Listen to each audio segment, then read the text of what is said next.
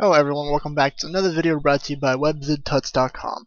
This is video 2 in the VB.NET programming series, and in this video we're just going to go ahead and give you an overview about uh, Visual Studio. Uh, we're going to go over the interface of it, um, some of the menus that we have in it, and that's basically all we're going to do in this video.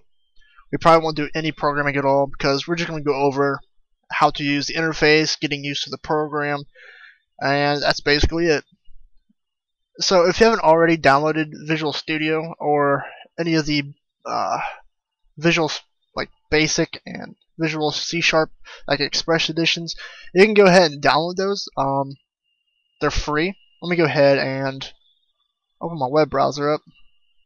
Let me get this to fit in the screen and Alright, here we go um, if you want to download something like this, you won't be able to download this one. This one you have to pay for, but I got it free through uh, the school that I went to. So what we're going to do is look up the Visual Basic Express editions. That's the free kind. It gave, gives you basically some of the same functionality as this one, the Visual Studio Ultimate. Although Visual Studio Ultimate has C Sharp, Visual Basic, Visual C++. It has all of that combined into this big application right here. And it has a lot more features that you can use to develop applications, any kind of software, all of that kind of stuff right there. So we're going to look up Visual Basic Express. And we'll download this 2010 one. This is the newest one.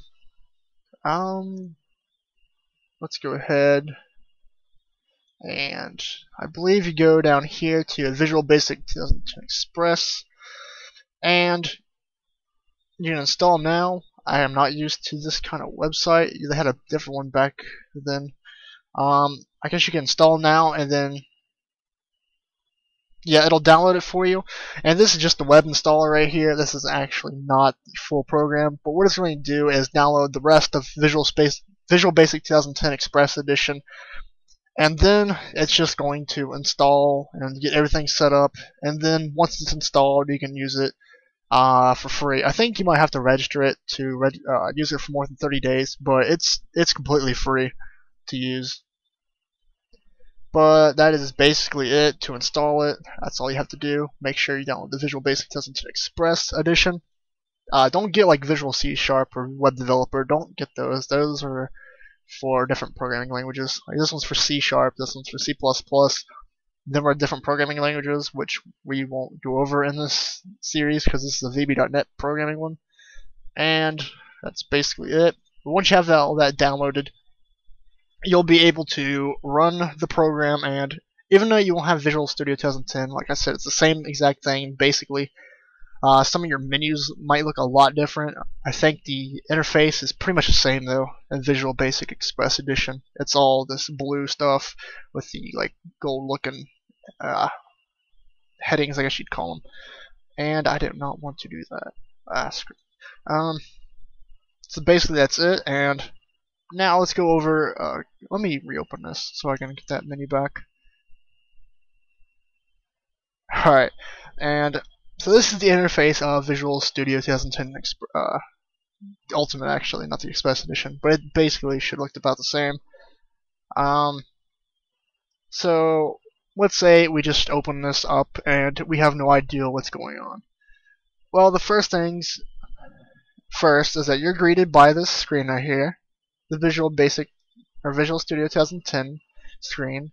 Unless you're using Visual Basic uh, Express Edition, then it'll say Visual Basic Express Edition. And you have a few options right here. You can connect to a Team Foundation server, a new project, or open project. Uh, a new project will obviously open a new project for you. A fresh blank document that you can start uh, coding in and creating your applications. Open project opens projects that you've worked on and saved and want to use later, just like any program basically. Excuse me. And down here, you'll see your recent projects, uh, projects that you've been working on and opening and opened recently. They'll be displayed right here. And then you'll have a few little panels you can go through right here. Some looks like little tutorial looking things right here. they're not as good as web test tutorials, so I won't recommend going to those. Um, some more little news things right here. You can enable RSS feed. I guess that's from Microsoft to get some updates on their latest news, apparently. And this looks uh, looks like some more tutorials. Yeah, looks like some more tutorials. I guess from the MSDN uh, resource resources. And that's basically the welcome screen. You can turn the welcome screen off right here. Show up on startup. If you have that deselected, then it won't come up anymore when you open this application. And this closes the page after project load. So it'll close this page instead of keeping it up because it'll be in tabs right here with your projects. And like on the file menu, as in like every pro uh, every program ever, you have new for new projects, and you can make a website. You have a new team project, or you can just create one new file. Um, and the open menu, open a project, website, team project file, basically the same as this, except opening Close will close your current page. Um, have close solution when we have a program open. Save, save selected items. Save all will save all of your files because they'll be in tabs right here, and then it'll just save them all without you having to go into each tab and hitting Control S or hitting save on every one of them.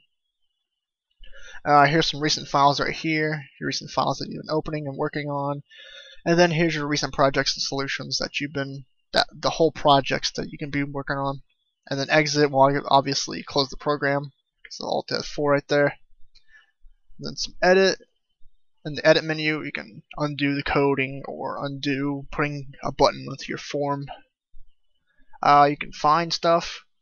If you're going through the code, you can find words, specific words, using this command.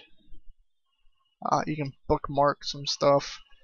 And then here's some more window or uh, some windows you can open. For instance, the toolbar. The toolbar is right here on the left. It might be like that. I'm not really sure because I've configured my Visual Studio different.